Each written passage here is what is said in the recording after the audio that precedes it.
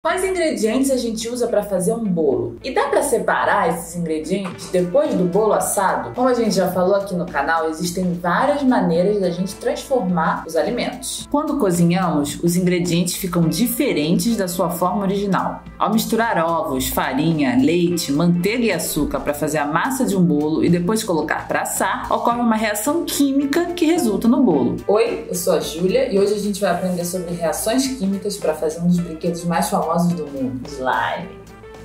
Mas antes, se inscreva no nosso canal, ative as notificações e curta os nossos vídeos!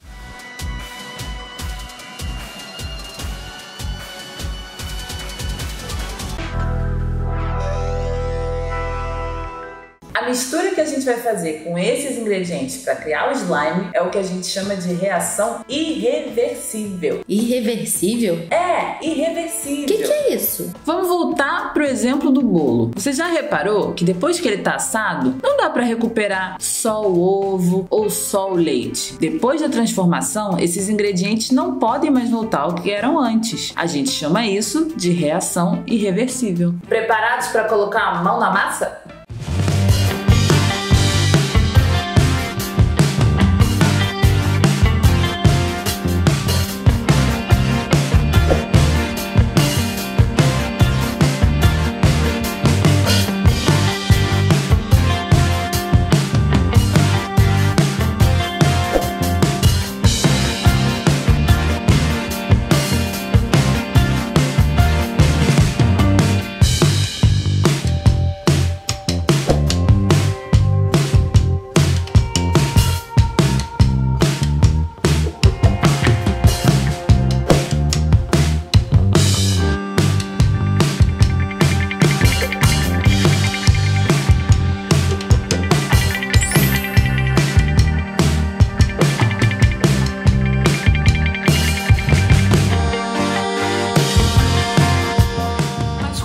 Isso aconteceu? A cola é feita de moléculas que chamamos de polímeros, pecinhas microscópicas que dão essa aparência para a cola, um líquido grudento. Essas pecinhas não são muito atraídas umas pelas outras, por isso a cola pura escorre. Quando a gente mistura o bicarbonato de sódio com a cola, promovemos uma reação. Esse novo composto, o bicarbonato, funciona como um elo entre as pecinhas da cola. Esse ingrediente vai funcionar como um ativador. O ativador chega para as moléculas de cola e fala: "Vamos dar as mãos, modo super união, ativar. Então todas ficam mais juntinhas como se fossem um elástico. Se esticam, mas não se soltam uma das outras. Por isso a nossa geleca não escorre, ela fica mais consistente. Lembrando que o nosso ativador tem que estar bem no meio das moléculas de polímero da cola, para elas darem as mãos. Então a gente precisa mexer muito bem.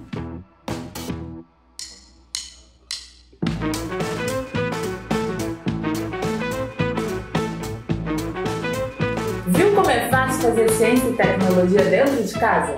A gente se encontra no próximo episódio. Tchau!